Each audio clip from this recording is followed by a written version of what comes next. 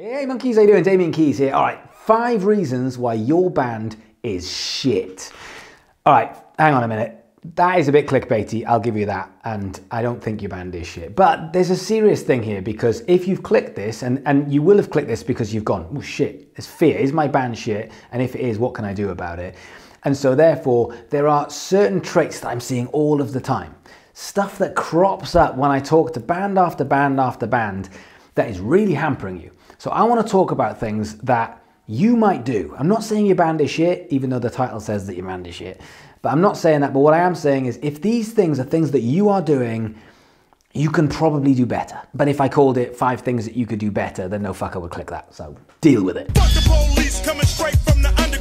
Number one, you rehearse once a week. Like once a fucking week. Like there's 52 weeks in a year. Do you think that's it? Are you going to do 52 rehearsals in a year? But then you've got Christmas and holidays, so you're probably going to rehearse, what, 40 times a year? Is that enough? Can you actually get away with competing on a high level and take your band to the area that you want to do, where you've got to write and you've got to, you've got to get tight, you've got to put shows together? Can you do all of that in a rehearsal which is three or four hours a week? I'm telling you, no. No! You need to match your workload with your expectation. And by that, I mean, if your expectation is, we want to take this band as far as it can go, that's your expectation. What's the workload? We'll meet up once a week. I mean, come on, it doesn't work like that. That, that is something I hear all of the time, and people going, I know, but I've got a full time job, and James can't make it because he lives in a different city. Fine, but that, that doesn't actually mean anything. What that means is those are your problems, those are your issues that you have to overcome. The reality is, is if you want to take this band as far as it can possibly go, to the nth degree, and when I usually ask bands, they usually have a few answers before they go, we want to headline Reading, or we want to play a stadium, or if you want to do that, are you going to do it momentum-wise once a week? Mm, I don't think you are. I don't think you are. Like, like what can you physically do in like once a week with all the shit that you need to do, what is it that you can achieve in three or four hours a week together?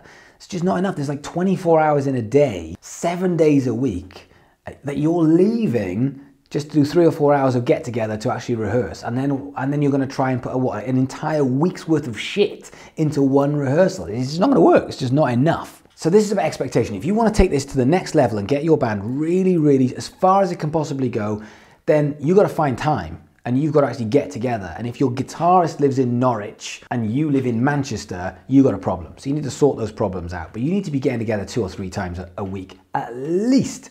I mean, the more time you put into this, makes sense, the more your band's gonna take off. What's really interesting when, when I'm looking back at bands that I was talking to six months or a year ago, like some of them are motored ahead and some of them are kind of stuttering.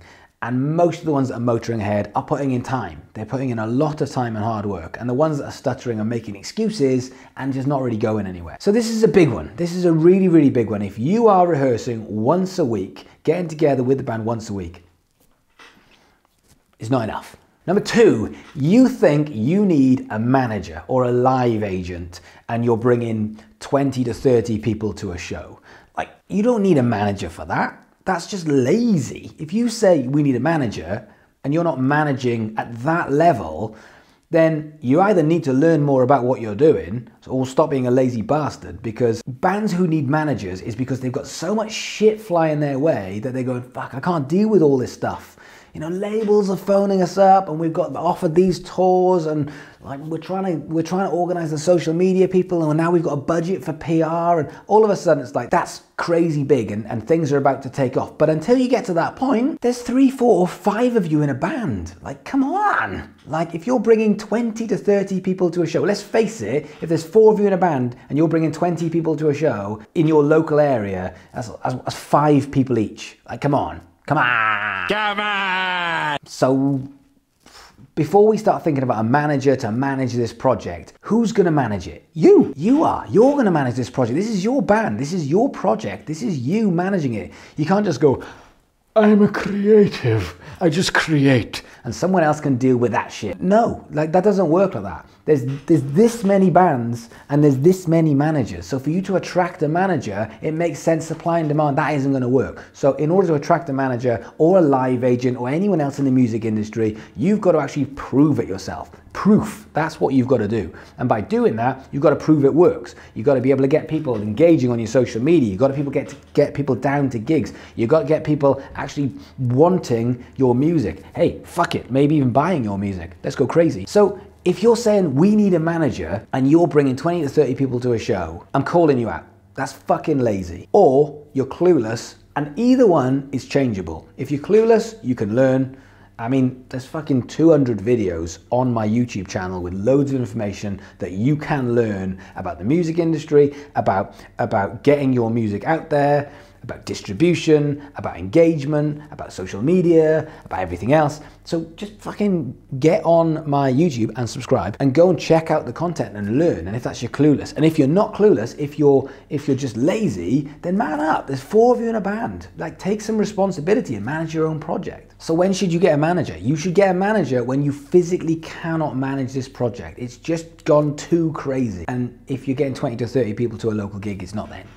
Number three, you release music with no strategy whatsoever. Now, this is huge. This is something I hear all of the time. So when someone says, we're making our EP or we've made our EP. What do we do next? And I'm like, great, what are we gonna do next? Because we haven't planned anything. We've just got here. And it's like, like, like I call the, the happily ever after. When you just go, here's our album, and there's no, no story before it, you just go, and here's the end. And we all lived happily ever after. The end. It doesn't work like that. So when you've got no strategy, what are we gonna do? What are we making this music for?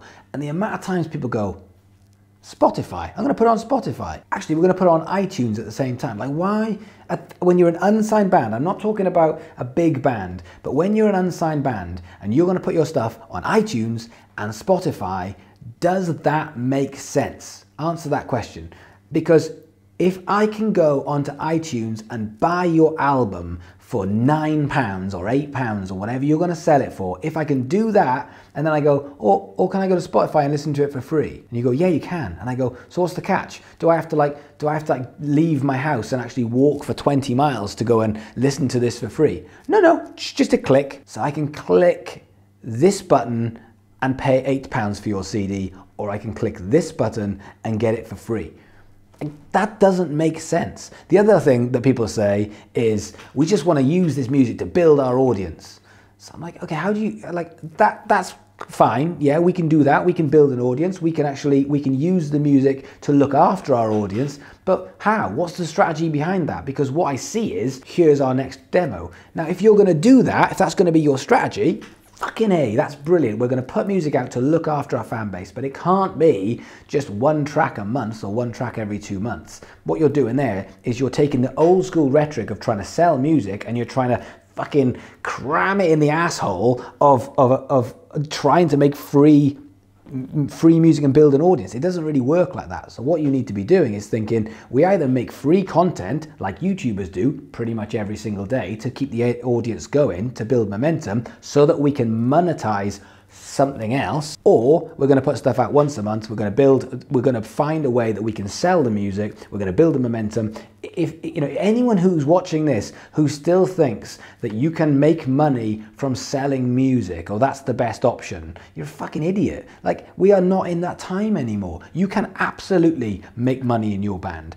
But if you think that's the best way of doing it in this day you are wrong. If you think making an album is the best way of making money it isn't. There's loads of ways. There's there's there's live tickets there's merchandise but streaming is not one of them because when you get signed to a label, unless you're a really big band, when you get signed to a label and you're getting 0.0045p per click, and then the record company goes, well, we want 15%. I mean, how much are you going to get as the bass player of that band? Nothing. So come on. So pick the strategy. Which is it going to be? Are we going to try and build an audience? Are we going to try and look after the audience? And therefore, we have to make the product and make the music to do that. Or do we want to sell the music? In which case, we have a different strategy for that. But if we just go, here's money, here's pay, and here's building an audience, they're three completely different strategies. So come on. Let's get real. This is 2017. It's about to be 2018 for anyone who's watching this in a month's time. And so, therefore, we've got to think about today's music industry and not 1989. Number four, you're an unsigned band that plays a gig for an hour. A fucking hour. Scratch that. 40 minutes. No, fuck that. 30 minutes. If, you, if you're an unsigned band and you're playing a gig for 30, no, fuck it. 20 minutes. Anything more, bored.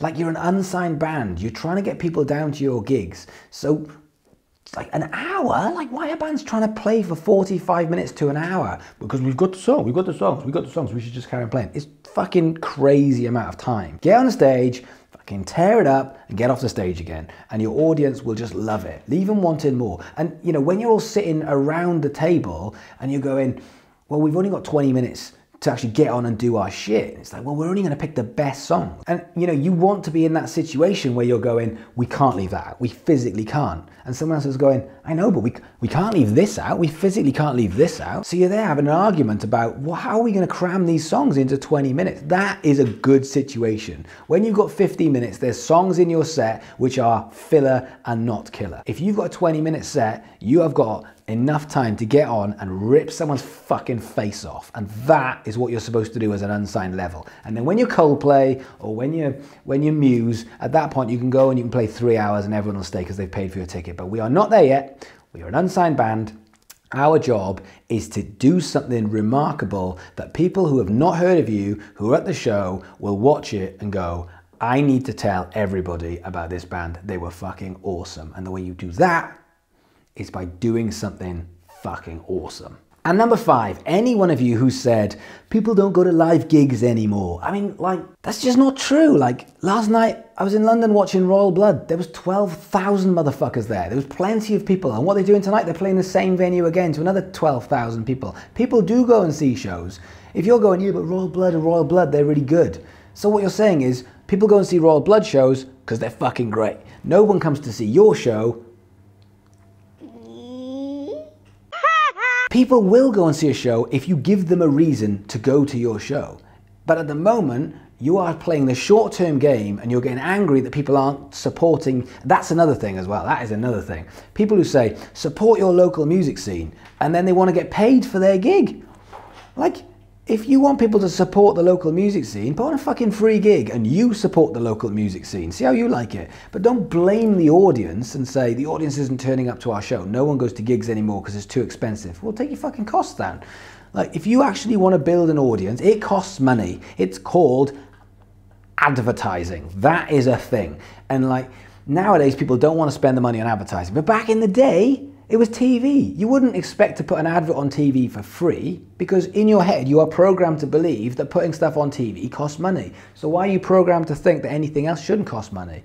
Just go and do a gig, build the audience, get out there, spread the word, and then monetize something else when you're an unsigned band. You can do that. But at the moment, this idea uh, that nobody turns up to live gigs is not good enough. No one turns up to not very good bands. That's the case. I go to plenty of live gigs. I go loads. And there's some of them I really enjoy and there's loads of people there and I can see why. And there's some of them where there's not many people and I can see why. So stop making that excuse and start thinking about why people aren't coming to your gigs, not loads of local gigs. Because if I showed you a bunch of bands and said, why aren't people coming to this band's gigs? You'd probably answer me the right answer. So start thinking, why aren't people coming to your gigs? What can you do to make it better? For a start, don't play for a fucking hour. Start thinking about how can you get on stage, tear it up? Are your songs good enough? Is the product good enough? Have you marketed good enough? Is the band good enough? If not, that's easy. We can fix that. We can improve it. And again, get on the YouTube and start hunting around for ways on my videos that you can improve your product, you can improve your band, and you can improve spreading the word about it. Because the reality is, is if the band is good enough, like if the Chili Peppers came to this city and did a secret gig, the Foo Fighters did this not long back. They played a venue in Brighton called the Concorde 2, which held about 500. And on the day, they called their band something completely different. And they just told a couple of people, like we're talking two or three people, and it was a warm up show. Like there was so many people that the place inside was rammed and there was the same amount of people outside because word spread like wildfire. Why? Because every fucker wants to go and see the Foo Fighters. It's a massive big deal. So because the product's amazing, everybody wants to go. Your job is to make the product so amazing that everyone wants to be a part of it. If people aren't showing up, it's not them.